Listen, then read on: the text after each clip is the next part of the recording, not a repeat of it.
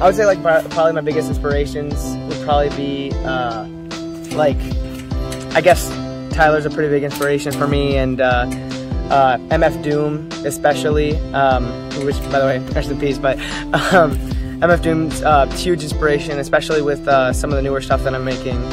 Um, I never really, I was mostly into like R&B soul stuff, but I like kind of dipped my toes into hip hop. But with what I'm making now, um, I've kind of just kind of started getting way more into like hip hop type stuff, and uh, that's where like the MF Doom kind of comes into play.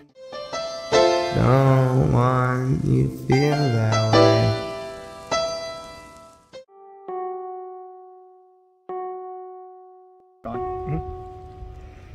Probably, uh, I'm working on a an album right now. It's like a story-driven album. Um, like uh, how lockdown was more of uh, not not really a story, but more of just kind of my uh, thoughts and and inner mechanisms of my mind. Um, but uh, this is gonna be more of like a story-driven album. Um, it's not gonna be about me. it's gonna be about uh, some other characters. But yeah, it's it's it's. I am that I am working on uh, some newer stuff.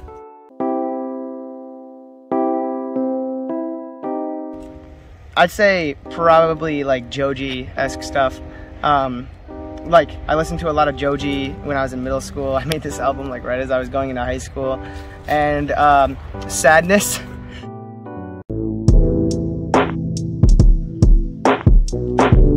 Thank you. Thank, thank you. Thank you. Thank you. Thank, thank you. you. Thank you. Thank, thank you.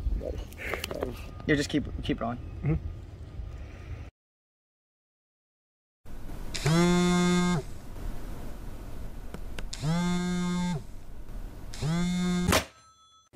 Ready?